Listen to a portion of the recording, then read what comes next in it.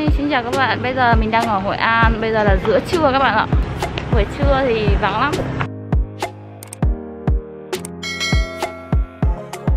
Bây giờ là hơn 8 giờ sáng và bây giờ bọn mình sẽ chạy từ à, à không đi ăn sáng trước đã, xong rồi sẽ chạy từ Đà Nẵng sang Hội An. Nghe đâu đó thì khoảng tầm là từ 30 đến 45 phút 45 phút là đối với những người mà chưa quen đường giống như mình Bạn cùng theo dõi hành trình của mình trong này Let's go Don't wanna sleep in Cause I got something to prove. I gotta take what I hate and finally make a move. I think of you and all the shit you don't do. Well I'ma make hella sure that I don't become you. I have no regrets, yeah I'll tie up my chest. I'll never forget what it's like to be Đèn đỏ, số màu vàng. Đây chính là Hội An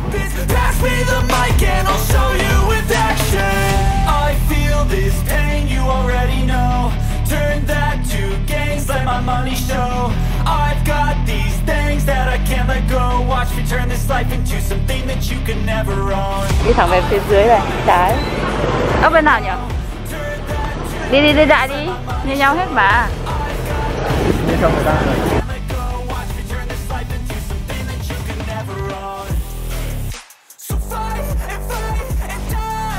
Điều đầu tiên mình cảm nhận được khi đến Hội An đó là nắng nóng các bạn ạ.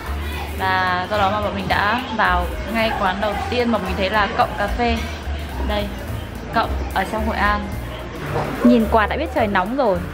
Cái view bên ngoài nó hơi khác một chút. Gọi là sao nhỉ? Nhập ra tùy tục. Đúng rồi, nhập ra tùy tục.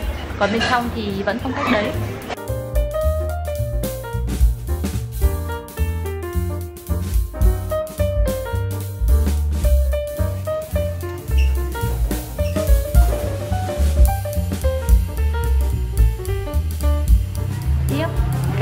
Kia nữa. Vừa vừa thôi tí lại mặn chát.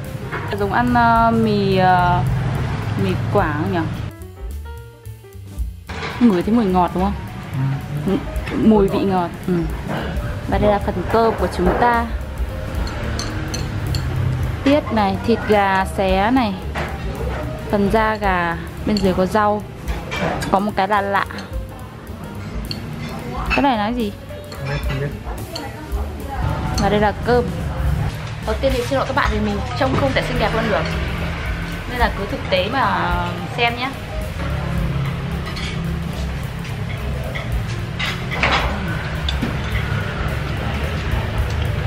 Cơm này cho trộn mỡ và đều sẵn rồi. Có vị mặn mặn. Vì mình không biết cái này cái gì, nên là mình sẽ thử. Thử mới biết được biết là cái gì? Nó hơi kiểu hơi bờ bờ một tí. Hơi có vị hạt hạt một tí. Hạt nó chắc là hạt tiêu.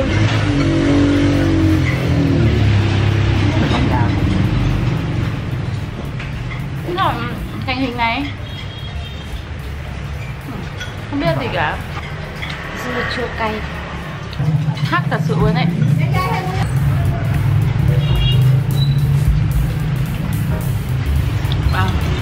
Sau khi ăn trưa xong thì bọn mình quyết định là về hostel để gội đầu cho đỡ bết. Như các bạn có thể thấy thì một phòng bọn mình ở như này là có 4 giường. Không quá đông, Có quạt này, Mát ơi là mát luôn. Chỉ có một điều là mình không thấy phía dưới này không có khóa Thì liệu mình để đồ cá nhân ở đây thì có bị mất hay không? Một câu hỏi lớn.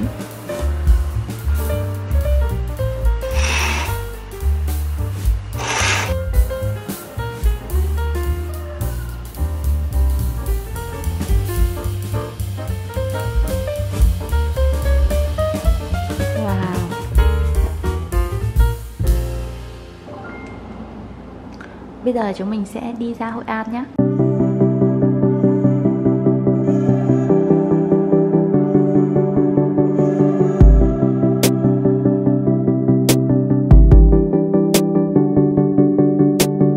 Vừa mới hôm rồi, bà vừa bên này Con mới vô Hội An trưa này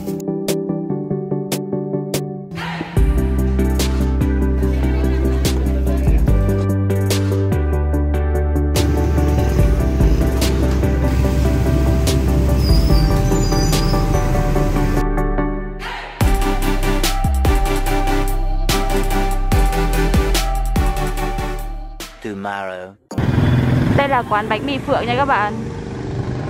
Rất là đông khách. Mọi người xếp hàng kìa. Xung quanh có một vài quán ăn khác.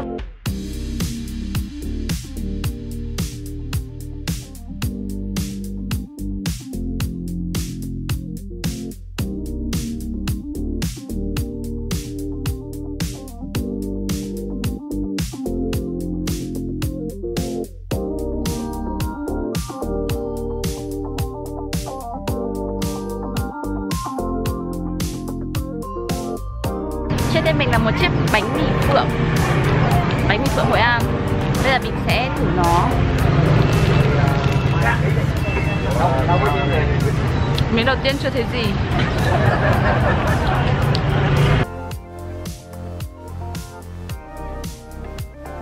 Đỏ thơm Hơi cay cay. Sốt, sốt pate mà thơm lắm. Ở trong này họ cho rất nhiều rau nha. Đi ăn bún hay ăn gì cũng nhiều rau nhỉ? Là ngon đáng thử bảo sao đông khách đã ăn xong bánh mì bây giờ mình sẽ di chuyển ờ, về homestay để check out lấy đồ rồi đi về đà nẵng Cảm ơn các bạn đã xem video của Yến. Đừng quên ủng hộ Yến bằng cách like video, comment ở phía dưới và subscribe kênh nha. Hẹn gặp lại các bạn trong video lần sau. Bye bye!